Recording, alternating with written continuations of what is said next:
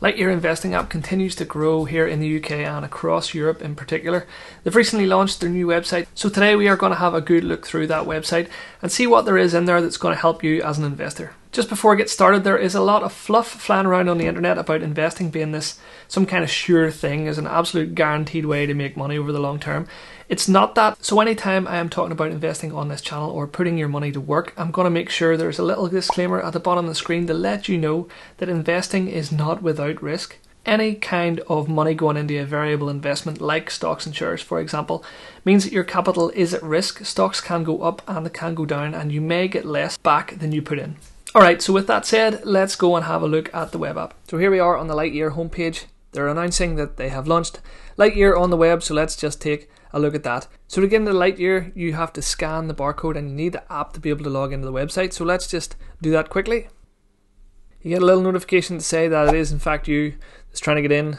Click yes, and there we go. It's all very nice. Alright, so we have got logged in here on the website then. Let's just go over the screen that we can see. You've got a summary of your portfolio, exactly how much is there, your performance overall so far, and obviously the, the balance. You can see I've made a fairly chunky withdrawal recently. Over on the right, we have a search bar, able to search for all the different things we may be interested in. We'll get into that in just a little bit. Just below that, we have our cash balances. Lightyear is a multi currency platform, so you can have balances in sterling, US dollars, and in euros. We have an investment calendar which will give you information on significant events that are coming up for stocks you own. So maybe it's a dividend payment or there's a some kind of reporting coming out, something like that. You're going to see all that information in this investment calendar area. And you have your investments down here. At the moment, my position with Lightyear is entirely in cash, but that's for another project that I'm working on, and we'll get to that in a future video. Finally, down at the bottom, if I move my big head out of the road, you can see that the website is very much in beta and Lightyear are very much interested in getting your thoughts on how you're finding the web application. So that's a very quick overview of the homepage. Let's get into some of the more interesting things about the web app. Over on the left hand side, uh, we have a portfolio button. As I say, I don't have any stocks and shares at this point in time, so we can look at that later. And we have this star, which represents a watch list. So there's plenty in my watch list. I have uh, Vanguard, FTSE, All World, High Dividend Yield, DraftKings, SoFi Technology, Disney, Apple, and so on down the list. It's a good way of keeping the stocks that you're interested in or the things you might be thinking about buying. It's a good way to keep them all together in one sort of handy spot. Over here on the right hand side is the most watched section. You can get a feel for how people are thinking about investing. These are the 50 most watched instruments on Lightyear, ranked by the most watched by the customers. So these are all the things that people are very much thinking about putting their money into. Similarly to the homepage, there is a watch list calendar so you can see upcoming events and things that have happened in the past for stocks and shares and instruments that you have been watching. And there's plenty of information, and it's all pretty well organized by date. You can click on any one of these pieces of news to get more information down the right hand side. So here's some information on Coca Cola, for example. Here's some information on Apple and how they paid their dividends and so forth. All that stuff is chronological, so it makes it very easy to navigate and to get the information you're looking for. Let's just go back to the homepage. So, anyone who has watched this channel for any length of time will know that I am keen on investing in ETFs. So, I want to search for my favorite ETF. There's, there's two ways to do that. The first is simply to click on the search bar and search for something like VUSA, and that'll give us the Vanguard S&P 500. The other way, which is very cool, is to hit your command button on a Mac or a Windows key on a Windows machine and Command K. Now, I love a keyboard shortcut. This is the first web app I've seen this do this so clearly and so succinctly. There are keyboard shortcuts for many of the functions, and I love a keyboard shortcut. It just makes things so much simpler than wiggling a mouse about. You just get your command key, command K, and you've got your search bar up. It's brilliant. So I can search for VUSA and get Vanguard S&P 500. So from the screen then you can get an awful lot more information about the fund. We just scroll down a little bit and tell you the fund size, dividend yield, dividend rate. Tells you a little bit about the fund. This fund aims to track the S&P 500, the 500 largest US stocks.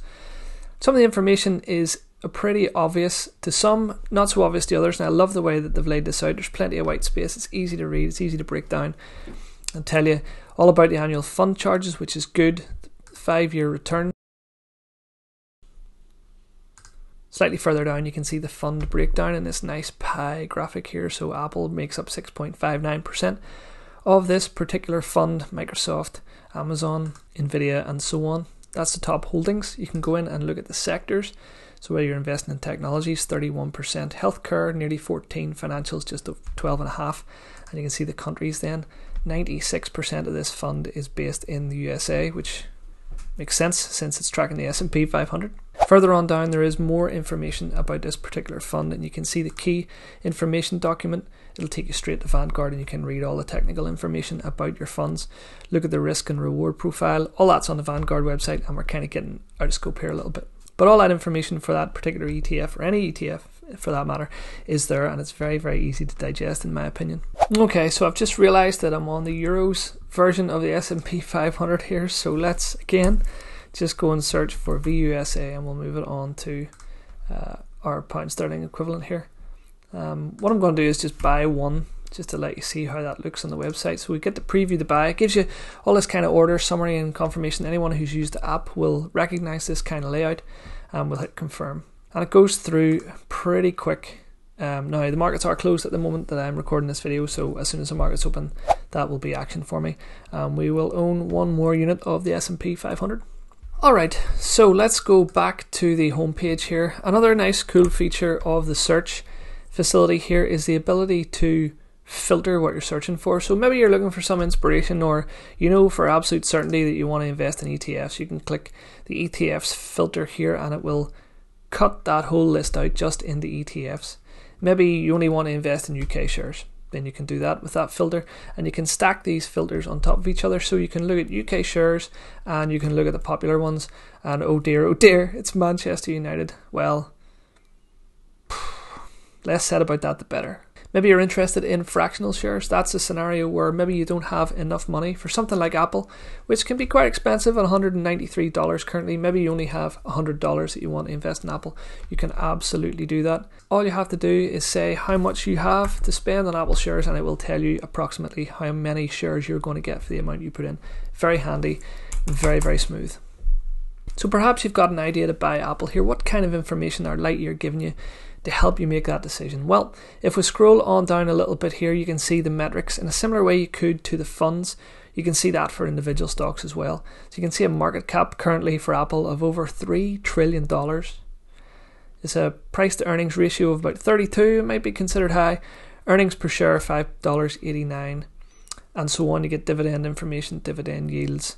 And then this interesting portion here is what the analysts think. There are 42 analysts here. Now, it doesn't exactly say who these analysts are, but if we click for more information about this data, it says that the data is updated daily and sourced from a third party, Refinitiv. This information certainly shouldn't be construed as investment advice. As I say, I don't really know who these analysts are, but it is good to see this kind of information to get a feel for what sort of thing you're investing in and whether or not it's good value. So you can see that the average price target for these analysts was $188. It's currently at 193. So According to this information, there's going to be a 2.45% downside to investing in Apple today. Now, no one knows the future.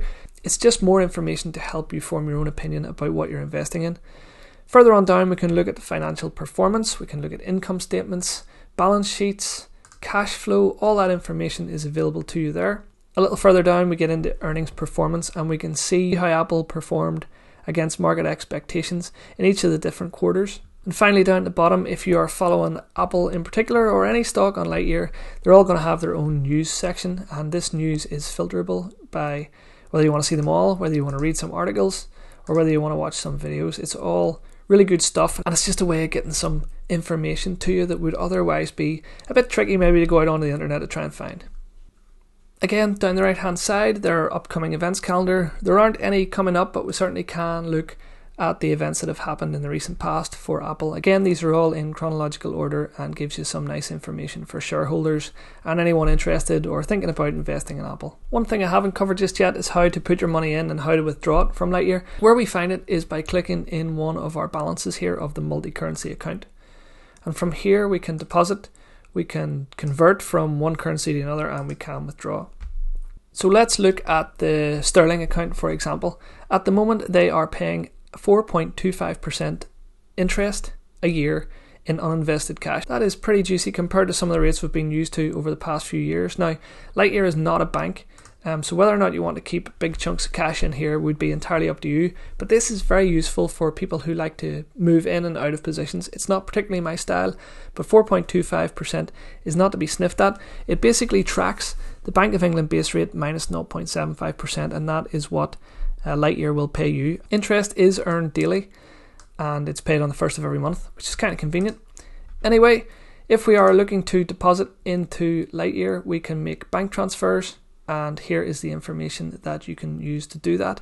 Other deposit methods are on the way for the website. Easy bank transfers are coming soon, but they are not supported yet, and the same with card payments. They are also not supported at this point in time. In terms of converting, well, you just choose which currency you want to convert from and convert to. If the idea here is you're going to buy a lot of US based stocks like Amazon or Tesla, it might be a good idea to have some of your money as US dollars. And of course, there is a withdrawal as well. I've done this twice already. I've withdrawn a couple of chunky payments um, from Lightyear already, and it was in my bank instantly. There was no delay, no waiting around three to five days or anything like that. The money was in my account within moments, so that's all pretty reliable as far as I'm concerned, and it's good to know that your money is easily accessible. So lots of really interesting features for me there. I really like the keyboard shortcuts. I really like all the information that they have on given stocks and funds. I really like the white space. I really like the way it's all laid out and everything's pretty clear and there's nice tabs for related sections. I think it's really useful to anyone who's trying to get more information on what they're investing in. So do let me know what you think of Lightyear's web app in the comments. What would you add? Is there anything else you would add to the web app? They're always listening out for suggestions. It's currently in beta, so there's more to come. Let me know in the comments what you would add next, and I'll see you in the next video.